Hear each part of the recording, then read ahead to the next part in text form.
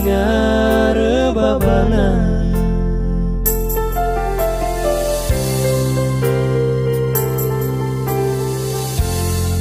Retang daku retang nuk